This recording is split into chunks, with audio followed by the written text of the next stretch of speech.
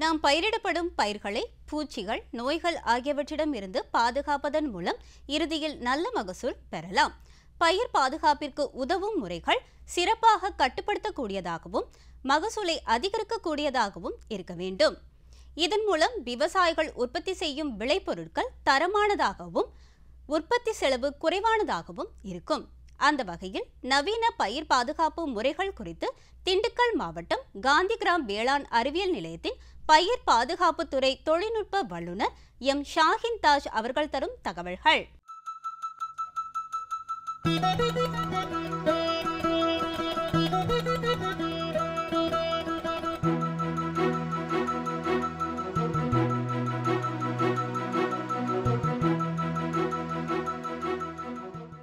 நான் திருமதி ஷாஹின் தாஜ். நான் காந்திகிராம் வேளாண் அறிவியல் மையத்தில் தம் பயிர் பாதுகாப்பு துறையின் தொழில்நுட்ப வல்லுநராக பணியாற்றிட்டுருக்கேன்.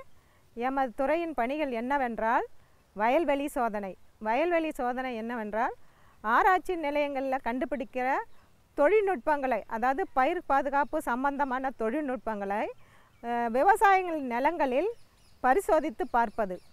உதாரணத்துக்கு த- பருத்தியில் சாறு உறிஞ்சி பூச்சிகள் மேலாண்மை என்ற தொழில்நுட்பத்தை மத்திய பருத்தி ஆராய்ச்சி நிலையத்தின் தொழில்நுட்பத்தையும் தமிழ்நாடு வேளாண்மை பல்கலைக்கழகத்தின் தொழில்நுட்பத்தையும் ஒப்பிட்டு அதில் எது சிறந்தது இந்த மாவட்டத்துக்குன்னு கண்டுபிடிப்பது.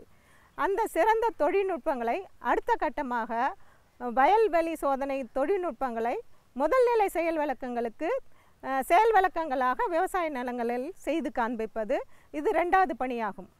அடுத்த பணி என்பது பயிற்சிகள். அதாவது விவசாயிகளுக்கு தேவையான பயிர் பாதுகாப்பு தொழில்நுட்பங்களை உள்பயிற்சி மற்றும் வெளிப்பயிற்சிகளாக விவசாயிகளிடையே பயிற்சிகளை அளிப்பது. விவசாய பயிர்கள் தோட்டக்கலை பயிர்கள் க- தீவன பயிர்கள் மற்றும் விவசாய சம்பந்தமான எல்லா பயிர் பாதுகாப்பு தொழில்நுட்பங்களையும் பயிற்சிகளாக அளிப்பது. அதில் பயிர் பாதுகாப்பு தொழில்நுட்பங்கள் என்று சொல்லும்போது பயிர் ப பயிரை பாதிக்கிற பூச்சிகளையும் கட்டுப்படுத்தும் முறைகள் நோய்களை கட்டுப்படுத்தும் முறைகள் நூற்புழுக்களை கட்டுப்படுத்தும் முறைகள் போன்றவற்றை தொழில்நுட்பங்களை பயிற்சிகளாக கொடுப்பது. உதாரணத்துக்கு பார்த்தோமென்றால் நம்ம பயிரை பாதிக்கிற பூச்சிகள் நோய்கள் அது அடியில் அடி அடிப்படையான காரணங்களையே நம்ம அழிப்பது. உதாரணத்துக்கு பயிரை பாதிக்கிற பூச்சிகளின் கூட்டுப்புழுக்கள். இது எங்கே இருக்குன்னா மண்ணுக்குள்ளே தான் இருக்கும். அதே மாதிரி நோய் உண்டாக்குற காரணிகளோட நோய் வித்துக்களும் மண்ணுக்குள்ளே தான் இருக்கும். இதை வந்து நம்மளுக்கு விவசாயிகளிடையே ஒரு எளிமையான முறையில் எப்படி கட்டுப்படுத்துறதுன்னா கோடை உழவு செய்வது.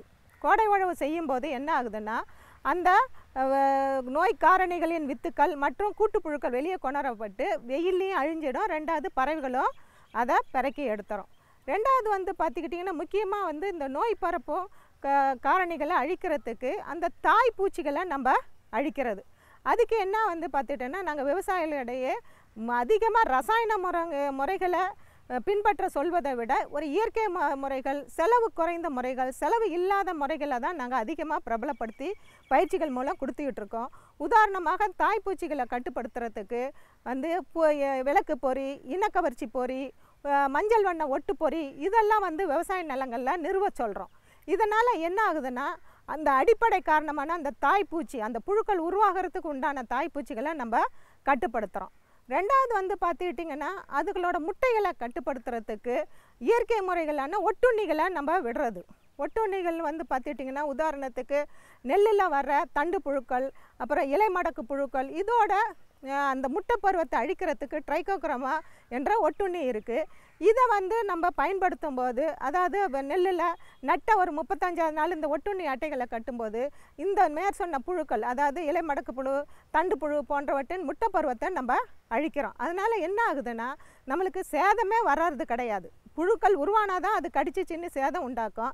நம்ம புழு பருவத்தையோ தாய் பருவத்தையோ நம்ம அழிக்கும்போது என்ன ஆகுதுன்னா நம்மளுக்கு சேதமே இல்லாமல் இருக்குது. நம்ம ரெண்டாவது என்னம்னா மருந்தோட உபயோகத்தையும் நம்ம குறைக்கிறோம். அது மாதிரி ஒட்டுண்ணிகளை நம்ம விடுறது.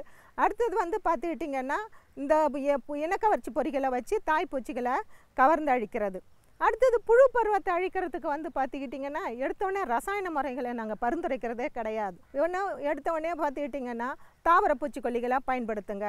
உதாரணத்துக்கு பார்த்துக்கிட்டிங்கன்னா வேப்பங்கொட்டை சாறை தெளிங்க.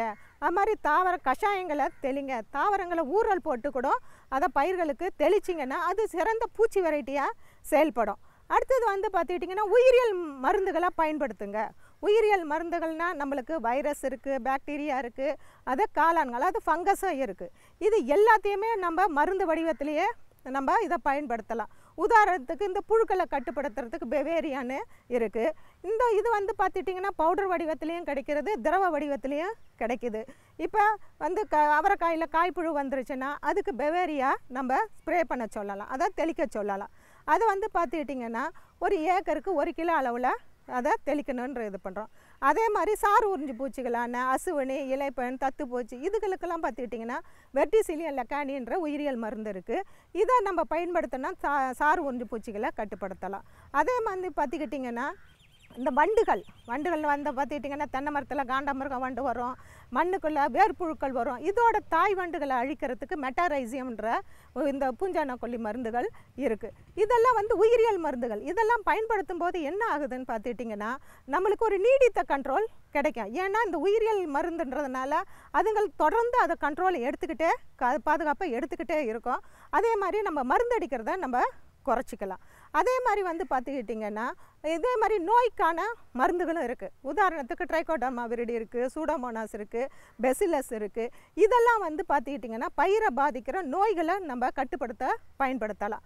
உதாரணத்துக்கு மண் மூலியமாக பரவுகிற நோய்கள் விதை மூலியமாக பரவுகிற நோய்களை கட்டுப்படுத்துறதுக்கு நம்ம ட்ரைகோடர்மா விரிடி சூடோமோனாஸை கொண்டு மண்ணுலேயும் நம்ம அதை பயன்படுத்தலாம். உதாரணத்துக்கு ஒரு ஏக்கருக்கு ரெண்டு கிலோ ட்ரைகோடர்மா விருடி ரெண்டு கிலோ சூடோமானாஸ் போடுறோம்னா நம்ம மண் மூலியமாக பரவுகிற இந்த வேர் அழுகல் நோய் தண்டழுகல் நோயெல்லாம் நம்ம கட்டுப்படுத்தலாம். அதை இதை விதை நேர்த்தியாகவும் பயன்படுத்தலாம். மண்ணுலேயும் நம்ம போடலாம். அதே வந்து மேலே இலைகளில் வர இலப்புள்ளி நோய்கள் காய்களில் வர புள்ளிகள் நோய்கள்லாம் கட்டுப்படுத்துறதுக்கு மேலே வந்து சூடமோனாஸ் பெசிலஸ் போன்ற இயற்கை அதாவது இயற்கை பூஞ்சான மருந்துகளை நம்ம பயன்படுத்தும் போது இலைகளில் வர நோய்களை கட்டுப்படுத்தலாம்.